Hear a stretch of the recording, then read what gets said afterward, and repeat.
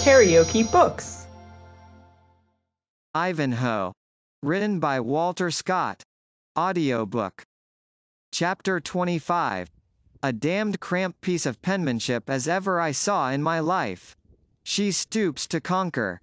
When the Templar reached the hall of the castle, he found de Bracy already there. Your love suit, said de Bracy, hath, I suppose, been disturbed, like mine, by this obstreperous summons. But you have come later and more reluctantly, and therefore I presume your interview has proved more agreeable than mine. Has your suit, then, been unsuccessfully paid to the Saxon heiress? said the Templar. By the bones of Thomas a Becket, answered de Bracy, the Lady Rowena must have heard that I cannot endure the sight of women's tears. Away, said the Templar, thou a leader of a free company, and regard a woman's tears. A few drops sprinkled on the torch of love, make the flame blaze the brighter. Gramercy for the few drops of thy sprinkling, replied de Bracy, but this damsel hath wept enough to extinguish a beacon light. Never was such wringing of hands and such overflowing of eyes, since the days of Saint Niobe, of whom Prior Aymer told USA water fiend hath possessed the fair Saxon. A legion of fiends have occupied the bosom of the Jewess, replied the Templar. For, I think no single one, not even Apollyon himself, could have inspired such indomitable pride and resolution. But where is Front de Boeuf? That horn has sounded more and more clamorously.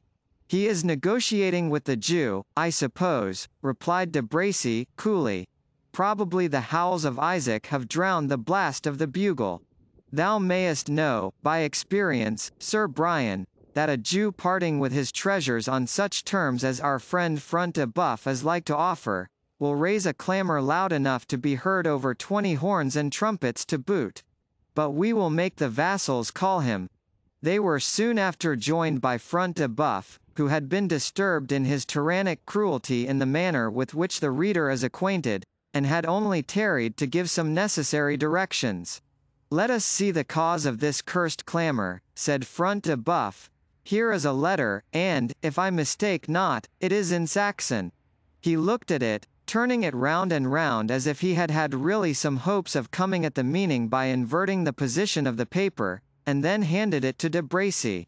It may be magic spells for aught I know, said de Bracy, who possessed his full proportion of the ignorance which characterized the chivalry of the period. Our chaplain attempted to teach me to write, he said, but all my letters were formed like spearheads and sword blades, and so the old shaveling gave up the task. Give it me, said the Templar. We have that of the priestly character, that we have some knowledge to enlighten our valor. Let us profit by your most reverend knowledge, then, said de Bracy. What says the scroll? It is a formal letter of defiance, answered the Templar. But, by Our Lady of Bethlehem, if it be not a foolish jest, it is the most extraordinary cartel that ever was sent across the drawbridge of a baronial castle. Jest, said Front de Boeuf, I would gladly know who dares jest with me in such a matter. Read it, Sir Brian. The Templar accordingly read it as follows. I, Wamba, the son of Witless, jester to a noble and free-born man, Cedric of Rotherwood, called the Saxon, and I, Gurth, the son of Beowulf, the swineherd. Thou art mad, said Front de Boeuf, interrupting the reader. By St. Luke, it is so set down, answered the Templar. Then resuming his task, he went on, I, Gurth, the son of Beowulf, swineherd unto the said Cedric, with the assistance of our allies and confederates, who make common cause with us in this our feud, namely, the good knight, called for the present, Le Noir Faineant, and the stout yeoman, Robert Locksley, called Cleave the Wand do you, Reginald Front de Boeuf, and your allies and accomplices whomsoever, to wit, that whereas you have, without cause given or feud declared, wrongfully and by mastery seized upon the person of our lord and master the said Cedric, also upon the person of a noble and freeborn damsel, the Lady Rowena of Hargottstandstede, also upon the person of a noble and freeborn man, Athelstane of Coningsburgh, also upon the persons of certain freeborn men, there, cnichts also upon certain serfs their born bondsmen. Also upon a certain Jew named Isaac of York together with his daughter a Jewess and certain horses and mules, which noble persons with their cnichts and slaves and also with the horses and mules Jew and Jewess before said were all in peace with his majesty and travelling as liege subjects upon the king's highway. Therefore we require and demand that the said noble persons namely Cedric of Rotherwood Rowena of Hargottstandstede Athelstane of Coningsburgh with their servants cnichts and followers also the horses and mules Jew and Jewess aforesaid together with all goods and chattels to them pertaining b within an hour after the delivery hereof delivered to us or to those whom we shall appoint to receive the same failing of which, we do pronounce to you, that we hold ye as robbers and traitors, and will wager our bodies against ye in battle, siege, or otherwise, and do our utmost to your annoyance and destruction. Wherefore may God have you in his keeping signed by us upon the eve of St. Withold's Day, under the great trysting oak in the Hart Hill Walk, the above being written by a holy man, clerk to God, Our Lady, and St. Dunstan, in the chapel of Copmanhurst. At the bottom of this document was scrawled, in the first place, a rude sketch of a cock's head and comb, with a legend expressing this hieroglyphic to be the sign manual of Wamba, son of Witless. Under this respectable emblem stood a cross, stated to be the mark of Gurth, the son of Beowulf. Then was written, in rough bold characters, the words, Le Noir Faineant. And, to conclude the whole, an arrow, neatly enough drawn, was described as the mark of the yeoman Locksley. The knights heard this uncommon document read from end to end, and then gazed upon each other in silent amazement, as being utterly at a loss to know what it could portend. De Bracy was the first to break silence by an uncontrollable fit of laughter, wherein he was joined, though with more moderation, by the Templar. Front de Boeuf, on the contrary, seemed impatient of their ill-timed jocularity. I give you plain warning, he said, fair sirs, that you had better consult how to bear yourselves under these circumstances, than give way to such misplaced merriment. Front de Boeuf has not recovered his temper since his late overthrow, said de Bracy to the Templar. He is cowed at the very idea of a cartel, though it come but from a fool and a swineherd. By Saint Michael, answered Front de Boeuf, I would thou couldst stand the whole brunt of this adventure thyself, de Bracy. These fellows dared not have acted with such inconceivable impudence, had they not been supported by some strong bands. There are enough of outlaws in this forest to resent my protecting the deer.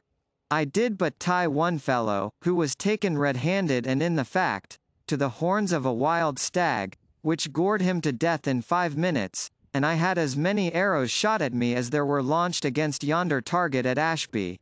Here, fellow, he added, to one of his attendants, hast thou sent out to see by what force this precious challenge is to be supported? There are at least 200 men assembled in the woods, answered a squire who was in attendance. Here is a proper matter, said Front de Boeuf, this comes of lending you the use of my castle, that cannot manage your undertaking quietly, but you must bring this nest of hornets about my ears. Of hornets?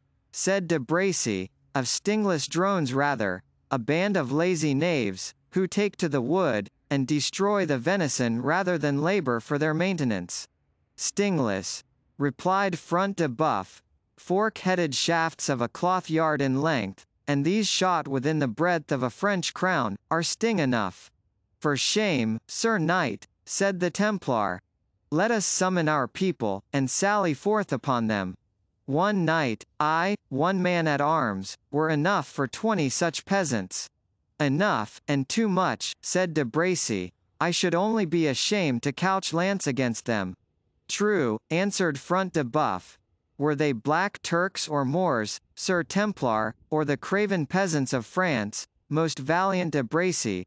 But these are English yeomen, over whom we shall have no advantage, save what we may derive from our arms and horses, which will avail us little in the glades of the forest. Sally, S-A-I-D-S-T thou? We have scarce men enough to defend the castle. The best of mine are at York, so is all your band, de Bracy, and we have scarcely twenty, besides the handful that were engaged in this mad business. Thou dost not fear, said the Templar, that they can assemble in force sufficient to attempt the castle? Not so, Sir Brian, answered Front de Boeuf. These outlaws have indeed a daring captain, but without machines, scaling ladders, and experienced leaders, my castle may defy them. Send to thy neighbors, said the Templar, let them assemble their people, and come to the rescue of three knights, besieged by a jester and a swineherd in the baronial castle of Reginald Front de. You jest, Sir Knight, answered the Baron. But to whom should I send? Malvoisin is by this time at York with his retainers, and so are my other allies, and so should I have been, but for this infernal enterprise. Then send to York, and recall our people, said de Bracy. If they abide the shaking of my standard, or the sight of my free companions, I will give them credit for the boldest outlaws ever bent bow in Greenwood. And who shall bear such a message? Said Front de Boeuf, they will beset every path, and rip the errand out of his bosom.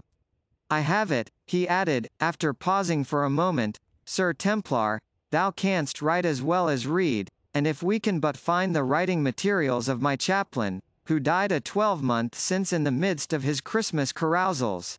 So please ye, said the squire, who was still in attendance, I think old Urfried has them somewhere in keeping, for love of the confessor. He was the last man, I have heard her tell, who ever said aught to her, which man ought in courtesy to address to maid or matron. Go, search them out, Engelred, said Front de Boeuf, and then, Sir Templar, thou shalt return an answer to this bold challenge. I would rather do it at the sword's point than at that of the pen, said Bois Guilbert, but be it as you will. He sat down accordingly, and indited, in the French language, an epistle of the following tenor. Sir Reginald Front de Boeuf, with his noble and knightly allies and confederates, receive no defiances at the hands of slaves, bondsmen, or fugitives. If the person calling himself the Black Knight have indeed a claim to the honors of chivalry, he ought to know that he stands degraded by his present association, and has no right to ask reckoning at the hands of good men of noble blood. Touching the prisoners we have made, we do in Christian charity require you to send a man of religion, to receive their confession, and reconcile them with God. Since it is our fixed intention to execute them this morning before noon, so that their heads being placed on the battlements, shall show to all men how lightly we esteem those who have bestirred themselves in their rescue. Wherefore, as above, we require you to send a priest to reconcile them to God, in doing which you shall render them the last earthly service. This letter being folded, was delivered to the squire, and by him to the messenger who waited without, as the answer to that which he had brought. The yeoman having thus accomplished his mission, returned to the headquarters of the allies, which were for the present established under a venerable oak tree, about three arrow flights distant from the castle. Here Wamba and Gurth, with their allies the Black Knight and Locksley, and the jovial hermit, awaited with impatience an answer to their summons. Around, and at a distance from them, were seen many a bold yeoman, whose sylvan dress and weather-beaten countenances showed the ordinary nature of their occupation. More than two hundred had already assembled, and others were fast coming in. Those whom they obeyed as leaders were only distinguished from the others by a feather in the cap, their dress, arms, and equipments being in all other respects the same.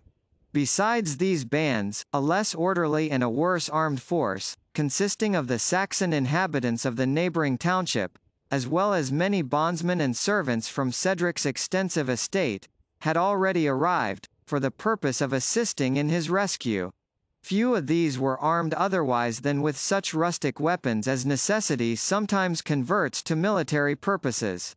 Boar spears, scythes, flails, and the like, were their chief arms for the Normans, with the usual policy of conquerors, were jealous of permitting to the vanquished Saxons the possession or the use of swords and spears. These circumstances rendered the assistance of the Saxons far from being so formidable to the besieged, as the strength of the men themselves, their superior numbers, and the animation inspired by a just cause, might otherwise well have made them. It was to the leaders of this motley army that the letter of the Templar was now delivered. Reference was at first made to the chaplain for an exposition of its contents. By the crook of St. Dunstan, said that worthy ecclesiastic, which hath brought more sheep within the sheepfold than the crook of e'er another saint in paradise, I swear that I cannot expound unto you this jargon, which, whether it be French or Arabic, is beyond my guess. He then gave the letter to Gurth, who shook his head gruffly, and passed it to Wamba. The jester looked at each of the four corners of the paper with such a grin of affected intelligence as a monkey is apt to assume upon similar occasions, then cut a caper, and gave the letter to Locksley. If the long letters were bows, and the short letters broad arrows, I might know something of the matter, said the brave yeoman. But as the matter stands, the meaning is as safe, for me, as the stag that's at twelve miles distance. I must be clerk, then, said the Black Knight, and taking the letter from Locksley, he first read it over to himself, and then explained the meaning in Saxon to his confederates. Execute the noble Cedric, exclaimed Wamba, by the rood, thou must be mistaken, Sir Knight. Not I, my worthy friend, replied the knight, I have explained the words as they are here set down. Then, by St. Thomas of Canterbury, replied Gurth, we will have the castle, should we tear it down with our hands. We have nothing else to tear it with, replied Wamba, but mine are scarce fit to make mammocks of freestone and mortar.